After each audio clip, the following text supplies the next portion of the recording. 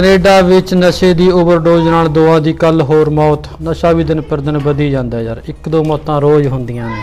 Daddy ਹਾਂ ਬਤਾ। School ਜਾਂਦੀ ਸੀ। ਅੱਛਾ ਪੁੱਤ ਗਰਮੀ ਬਹੁਤ ਹੋ ਰਹੀ ਹੈ ਬੇਟਾ ਮੈਂ ਤੈਨੂੰ ਛੱਡਿਆ ਹੋਣਾ।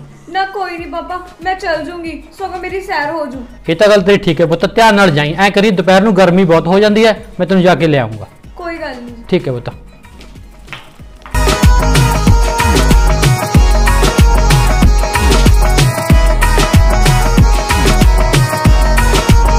ਹੋਰ ਬਾਈ ਸੁਣਾ ਕੋਈ ਗੱਲਬਾਤ? ਆ ਬਾਈ ਗੱਲਬਾਤ ਕੀ ਸੁਣਾਵਾਂ? ਦੁੱਧ ਵਾਲੀ ਗੱਡੀ ਤੇ ਤਾਂ ਡਰਾਈਵਰ ਭੱਜ ਗਿਆ। ਅੱਛਾ ਯਾਰ ਤੂੰ ਡਰਾਈਵਰ ਨੂੰ ਛੱਡ ਉਹ ਕੁੜੀ ਦੇਖ ਕਿੰਨੀ ਸੋਹਣੀ ਐ ਮੇਰੀ ਗੱਲ ਕਰਾ ਕਿਸੇ ਤਰ੍ਹਾਂ ਬਾਈ ਉਹਦੇ ਨਾਲ। ਓਏ ਤੂੰ ਰਹਿਣ ਦੇ ਇਹਨਾਂ ਤਾਂ ਮੈਂ ਕਰੂੰਗਾ ਗੱਲ। ਉਹ ਸਾਲੇ ਆਪਦੇ ਕਣੀ ਦਾ ਦੇਖ ਲਿਆ ਕਰ ਠੂਠੀ ਜਿੱਡਾ ਤੇਰਾ ਕਰਦਾ। ਜਾਂ ਮੇਰੇ ਬਾਰੇ ਗੱਲ ਕਰਕੇ ਉਹਦੇ ਨਾਲ ਸਾਲੇ ਥਾਪਣਾ ਮਾਰੂ ਮੈਂ ਕੰਨ ਤੇ ਚੱਲ ਬਾਈ ਗੁੱਸਾ ਕਾਹਨੂੰ ਕਰਦਾ ਹੈ? ਮੈਂ ਜਾਣਾ ਜਾ ਯਾਰ।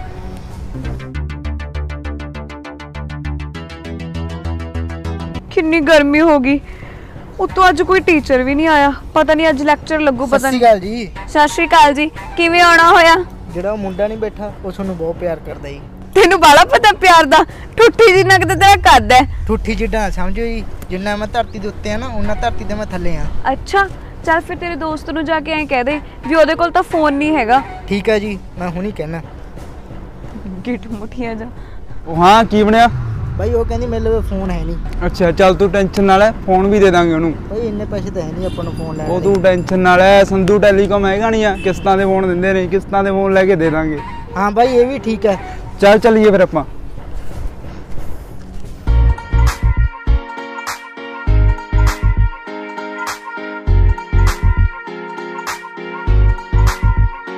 ਲੈ ਬਾਈ ਉਹ ਆ ਗਈ।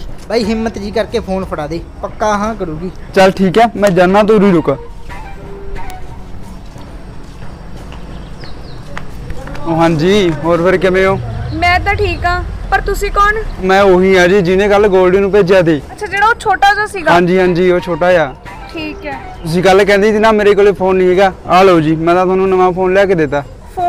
ਹਾਂਜੀ ਫੋਨ। ਹਾਏ ਸੱਚੀ ਤੁਸੀਂ ਮੈਨੂੰ ਇੰਨਾ ਪਿਆਰ ਕਰਦੇ ਹੋ ਮੈਨੂੰ ਨਹੀਂ ਪਤਾ ਸੀ। ਉਹ ਹੁਣ ਤਾਂ ਪਤਾ ਲੱਗ ਗਿਆ ਜੀ। ਹਾਂਜੀ ਚਲੋ ਹੁਣ ਮੈਂ ਸਕੂਲ ਲਈ ਲੇਟ ਹੋ ਜੂ ਮੈਂ ਤੁਹਾਨੂੰ ਘਰੇ ਜਾ ਕੇ ਕਰਦੀ ਹਾਂ ਫੋਨ ਠੀਕ ਹੈ ਜੀ। ਉਹ ਸੱਚ ਇਹਨੂੰ ਤਾਂ ਮੈਂ ਬੈਗ 'ਚ ਪਾਵਾਂ ਜੇ ਪਾਪਾ ਨੇ ਵੇਖ ਲਿਆ ਸੌ ਸਵਾਲ ਕਰਨਗੇ ਕਿਹਨੇ ਦਿੱਤਾ ਕਿੱਥੋਂ ਆਇਆ?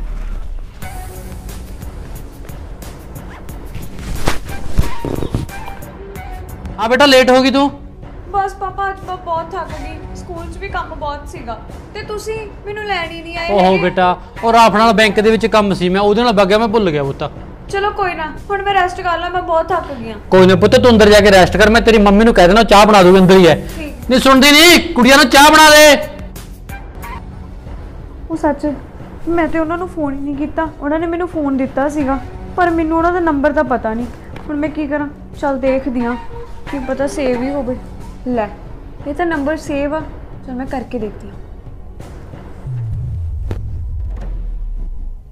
ਹੈਲੋ?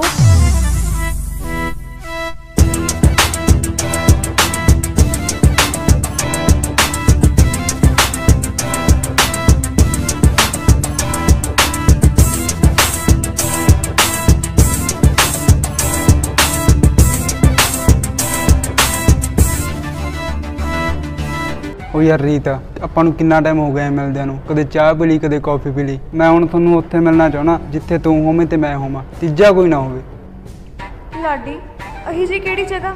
ਉਹ ਯਾਰ ਆਪਾਂ ਐਂ ਕਰਦੇ ਆ ਤੂੰ ਬੰਕ ਮਾਰ ਲਾ ਆਪਾਂ ਪਟਿਆਲੇ ਵਗ ਚੱਲਦੇ ਆ। ਉਹ ਨਾ ਨਾ ਮੈਂ ਨਹੀਂ ਐਵੇਂ ਬੰਕ ਮਾਰ ਸਕਦੀ। ਜੇ ਮੇਰੇ ਪਾਪਾ ਨੂੰ ਪਤਾ ਲੱਗ ਗਿਆ ਨਾ ਉਹਨਾਂ ਨੇ ਤਾਂ ਮੈਨੂੰ ਮਾਰ ਹੀ ਦੇਣਾ। ਨਾਲ ਤੁਹਾਨੂੰ ਪਤਾ ਵੀ ਹੈ ਪਟਿਆਲਾ ਕਿੰਨੀ ਦੂਰ ਆ 4 ਘੰਟੇ ਜਾਣ ਨੂੰ 4 ਘੰਟੇ ਆਉਣ ਨੂੰ ਲੱਗ ਜਾਣੇ। ਕਦੋਂ ਆਪਾਂ ਜਾਵਾਂਗੇ ਤੇ ਕਦੋਂ ਆਪਾਂ ਆਵਾਂਗੇ? ਤੁਸੀਂ ਇੱਥੇ ਹੀ ਦੇਖ ਲਓ ਕੋਈ। ਉਹ ਯਾਰ ਮੈਂ ਇੱਥੇ ਕਿੱਥੇ ਦੇਖਾਂ? ਜਿੱਥੇ ਮਰਜ਼ੀ ਦੇਖੋ। ਇਹ ਮੇਰੀ ਪ੍ਰੋਬਲਮ ਨਹੀਂ ਹੈਗੀ ਤੁਹਾਡੀ ਪ੍ਰੋਬਲਮ ਹੈ। ਨਾਲੇ ਮੈਂ ਤੁਹਾਨੂੰ ਕਹਿਤਾ ਵੀ ਮੈਂ ਜਿੱਥੇ ਕਹੋਗੇ ਉੱਥੇ ਆ ਜਾਓ ਪਰ ਮੈਂ ਪਟਿਆਲੇ ਨਹੀਂ ਜਾਂਦੀ। ਚੱਲ ਮੈਂ ਕਰਨਾ ਪਤਾ ਕਿਸੇ ਯਾਰ ਦੋਸਤ ਨੂੰ। ਹਾਂ ਠੀਕ ਆ। ਤੇ ਹੁਣ ਮੈਂ ਵੀ ਲੇਟ ਹੋ ਰਹੀ ਹਾਂ ਤੇ ਮੈਂ ਵੀ ਜਾਣਾ। ਉਹ ਯਾਰ ਮੈਂ ਤਾਂ ਮੂਵੀ ਦੇਖਣ ਦਾ ਪਲਾਨ ਬਣਾਇਆ ਹੋਇਆ ਸੀ। ਉਹ ਕੋਈ ਮੂਵੀ ਮਾਵੀ ਨਹੀਂ। ਨਾਲੇ ਤੁਹਾਨੂੰ ਪਤਾ ਮੈਂ ਘਰੇ ਜਾਣ ਵਾਸਤੇ ਪਹਿਲਾਂ ਹੀ ਬਹੁਤ ਲੇਟ ਹੋ ਰਹੀ ਹਾਂ। ਮੈਂ ਜਾਵਾਂ ਹੁਣ? ਜਾਂ ਤੁਸੀਂ ਚਲੋ ਆ ਜਾ ਰਹੇ ਹੋ? ਚੱਲਦੇ ਆ ਆਜੋ। ਤਰਸੇਮ ਨੂੰ ਘੰਟਾ ਹੋ ਗਿਆ ਫੋਨ ਕਰੇ ਨੂੰ ਹਲ ਤੱਕ ਨਹੀਂ ਆਇਆ। ਇਹਦੀ ਸਰਵਿਸ ਜੀ ਕਰ ਜਾਂਦਾ ਲੈ ਇੰਨੇ ਮੈਂ ਕਵਰ ਜਾ ਲਾ ਦਾਂ ਇਹਨੇ ਆਊਗਾ ਉਹ। ਡੈਡੀ ਹਾਂ ਪੁੱਤ? ਮੈਂ ਸਕੂਲ ਜਾਂਦੀ ਸੀ। ਉਹ ਤਾਂ ਠੀਕ ਹੈ ਪੁੱਤ ਅੱਜ ਵਰਦੀ ਨਹੀਂ ਪਾਈ ਹੈਗੀ? ਉਹ ਸਾਡੇ ਸਕੂਲ 'ਚ ਫੰਕਸ਼ਨ ਹੈ। ਉਹ ਕੀ ਹੁੰਦਾ ਪੁੱਤ? ਓਹੋ ਮਲਵਈ ਗਿੱਧੇ ਦਾ ਫੰਕਸ਼ਨ ਹੈ। ਅੱਛਾ ਅੱਛਾ ਅੱਛਾ। ਠੀਕ ਹੈ ਪੁੱਤ ਫਿਰ ਧਿਆਨ ਨਾਲ ਜਾਈ। ਜੇ ਕਿਸੇ ਚੀਜ਼ ਦੀ ਲੋੜ ਹੈ ਮੈਨੂੰ ਦੱਸ ਦੇ। ਨਾ ਨਾ ਹਜੇ ਤਾਂ ਕੋਈ ਚੀਜ਼ ਦੀ ਲੋੜ ਨਹੀਂ। ਜਦੋਂ ਹੋਊ ਮੈਂ ਤੁਹਾਨੂੰ ਦੱਸ ਦੂੰ। ਠੀਕ ਹੈ ਪੁੱਤ। ਚੰਗਾ ਬੇਟਾ। ਲੈ ਆਉਂਦੀ ਹੋਣਾ ਹੁਣ ਤਾਂ।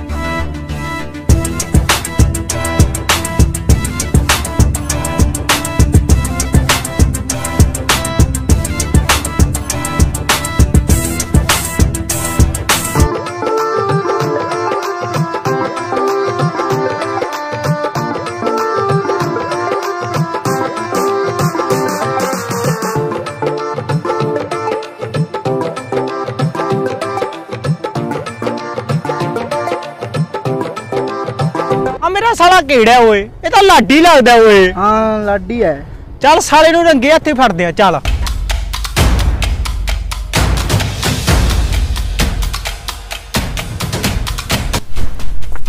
ਲੈ ਗੋਲਡੀ ਕੁੰਡਾ ਲਾਤਾ ਉਸ ਮਰਜ਼ੀ ਹੋ ਜੇ ਕੁੰਡਾ ਨਾ ਖੋਲਦੀ ਠੀਕ ਹੈ ਮੈਂ ਸਰਪੰਚ ਨੂੰ ਬੁਲਾ ਕੇ ਲਿਆਣਾ ਸਾਲਿਆਂ ਨੇ ਗੰਦ ਬਹੁਤ ਪਾ ਰੱਖਿਆ ਠੀਕ ਆ ਬਾਈ।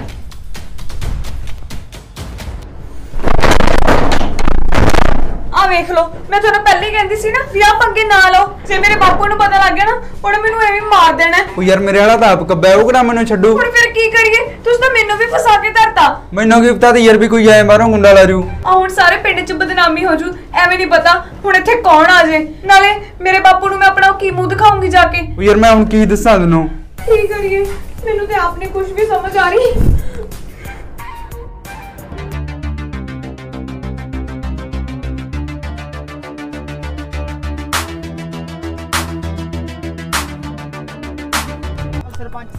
ਨੇ ਮੇਰੇ ਸਾਲੇ। ਉਹ ਫਿਰ ਤੂੰ ਖੋਲ ਕੁੰਡਾ ਮੈਂ ਦੇਖਦਾ ਮੇਰੇ ਸਾਲਿਆਂ ਨੂੰ। ਬਾਲਾ ਗੰਦ ਪਾਇਆ ਸਰਪੰਚ। ਕੋਈ ਚੱਕਰ ਨਹੀਂ ਖੋਲ ਤੂੰ। ਆ ਨਿਕਲੋ ਮੇਰੇ ਸਾਲੇ ਵੱਡੇ ਆਸ਼ਕਾ ਬਾਹਰ। ਮੇਰੇ ਸਾਲੇ ਗੰਦ ਪਾ ਕੇ ਤੂੰ ਸਾਰੇ ਪਿੰਡ 'ਚ।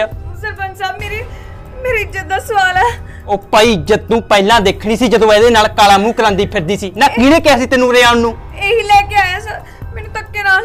ਐ ਕਰ ਛੋਟੂ ਉਰੇ ਨਹੀਂ ਗੱਲ ਬਣਦੀ। ਇਹਨਾਂ ਨੂੰ ਮੇਰੇ ਘਰੇ ਲੈ ਕੇ ਜਾਂਦੇ ਆ ਨਾਲੇ ਤਾਂ ਇਹਦੇ ਪਿਓ ਨੂੰ ਬੁਲਾਉਂਦੇ ਆ ਨਾਲੇ ਇਹਦੇ ਪਿਓ ਨੂੰ ਬੁਲਾਉਂਦੇ ਆ। ਚਲੋ ਸਰਪੰਚ ਸਾਹਿਬ। ਚੱਲੋ ਓਏ ਚੱਲ। ਬਿਠਾ ਇਹਨਾਂ ਨੂੰ ਗੱਡੀ 'ਚ। ਚੱਲ ਭਾਈ।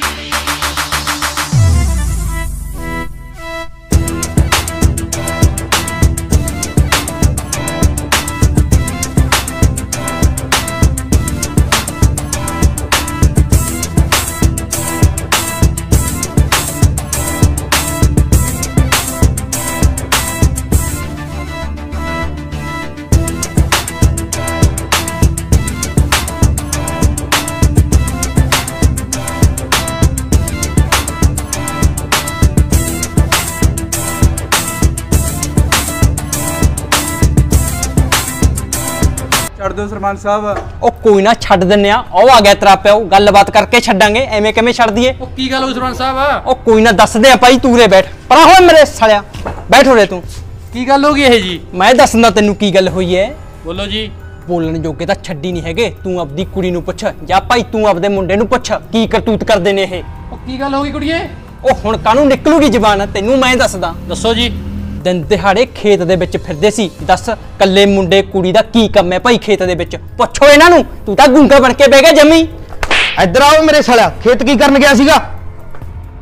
ਦੱਸਾ ਕੀ ਕਰੇ ਸਾਲਿਆ? ਉਹ ਬਾਪੂ ਮੈਂ ਕੀ ਕਰਾਂ? ਰੋਜ਼ ਮੈਸੇਜ ਕਰੀ ਜਾਂਦੀ ਸੀ। ਉਹ ਅੱਗਾ ਪਿੱਛਾ ਦੇਖ ਕੇ ਤਾਂ ਕਰ ਲੈਂਦਾ ਹੁਣ ਕੀ ਕਰੀਏ? ਸਰਪੰਚ ਨੂੰ ਪਤਾ ਲੱਗ ਗਿਆ।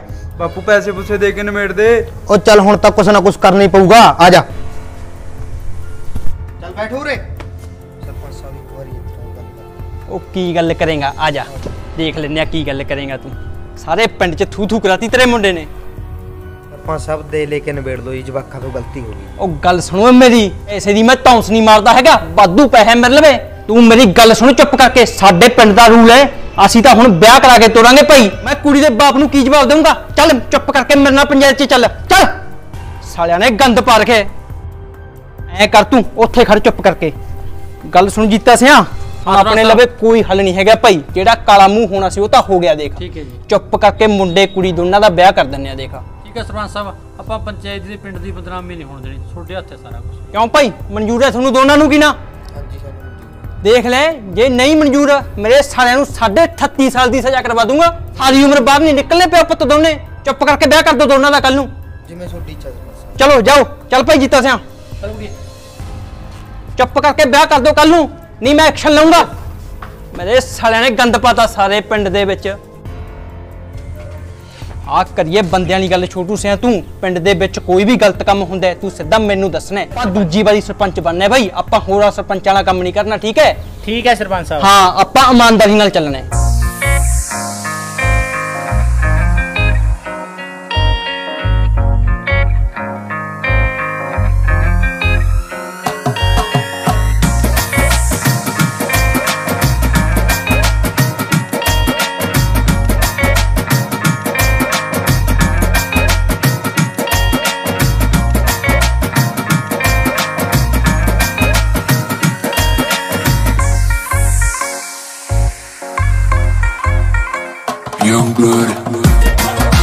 ਸਤਿ ਸ਼੍ਰੀ ਅਕਾਲ ਮਿੱਤਰ ਪੈਰਿਓ ਵੀਡੀਓ ਕਿਵੇਂ ਲੱਗੀ ਲਾਈਕ ਸ਼ੇਅਰ ਕਮੈਂਟ ਕਰਕੇ ਜਰੂਰ ਦੱਸਿਓ। ਨਾਲੇ ਜਿਹੜੇ ਯਾਰ ਵੈਲੀ ਚੈਨਲ ਤੇ ਨਵੇਂ ਨੇ, ਉਹ ਚੈਨਲ ਨੂੰ ਸਬਸਕ੍ਰਾਈਬ ਕਰ ਲਓ। ਅੱਗੇ ਬਹੁਤ ਸੋਹਣੇ ਸੋਹਣੇ ਕਨਸੈਪਟ ਆ ਰਹੇ ਨੇ ਮਿੱਤਰ ਪਿਆਰਿਓ। ਨਾਲੇ ਇੱਕ ਨਾ ਥੱਲੇ ਥੈਂਕਸ ਦਾ ਬਟਨ ਦਿੱਤਾ ਹੋਇਆ ਉੱਥੇ ਜਾ ਕੇ ਤੁਸੀਂ ਸਾਡੀ ਹੈਲਪ ਕਰਕੇ ਸਾਨੂੰ ਮੋਟੀਵੇਟ ਵੀ ਕਰ ਸਕਦੇ ਹੋ ਮਿੱਤਰ ਪਿਆਰਿਓ। ਠੀਕ ਹੈ ਮਿੱਤਰ ਪੈਰਿਓ ਧੰਨਵਾਦ।